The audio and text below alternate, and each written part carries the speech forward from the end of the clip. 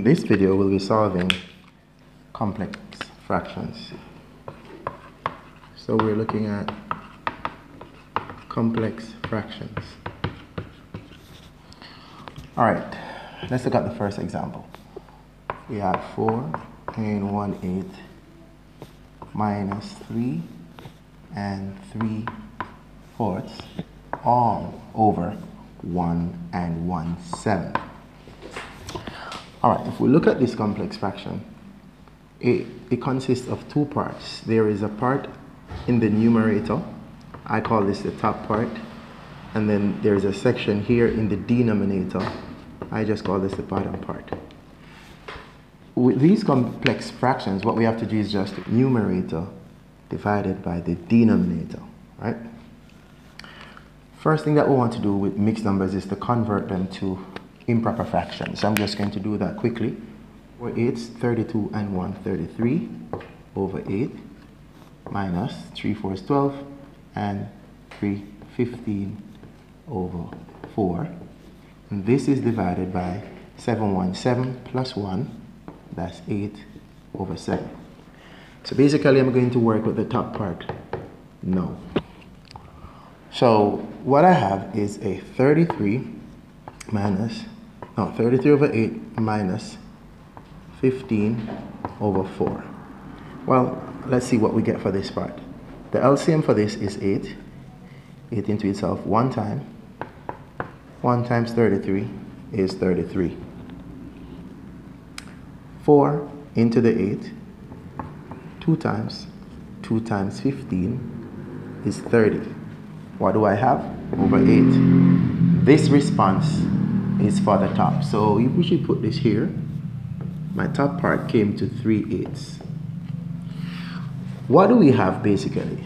We really have 3 eighths divide by 8 7. So if we should look at this, we could look at this long stroke here as division, so divided by 8 7. And then we normalize as multiplication and then reciprocate the fraction that comes after that. So it's going to be 7 8. Then after that, we're really looking at 21 over 64.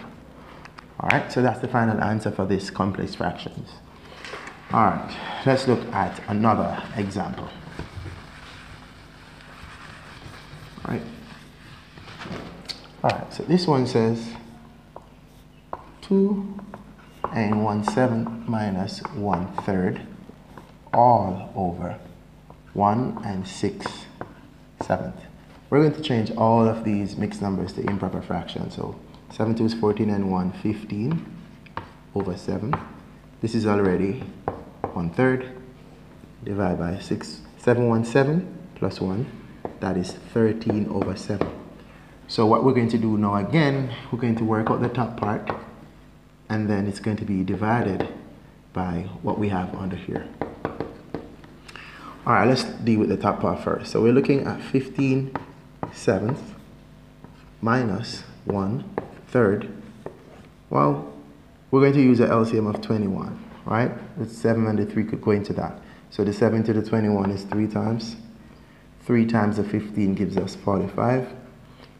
3 into the 21 is 7 times 717 what we're looking at right now is 38 for 21. Sometimes I'll break this down if I can, but I don't think I have any number to break this down right now.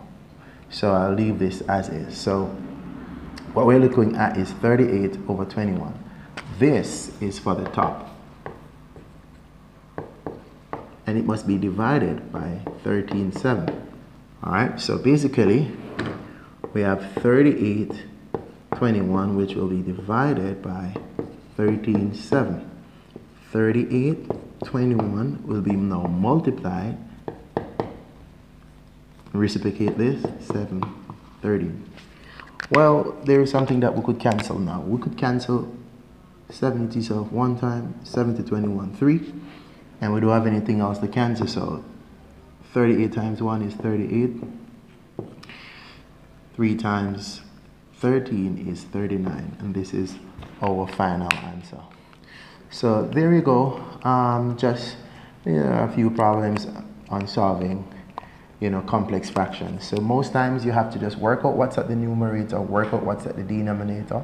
And in the event that there's nothing to work out, then it simply means that the answer from the numerator must be divided by the answer from the, or what you have for the denominator. So the numerator divided by the denominator. All right, thank you for watching and um, look out for more videos.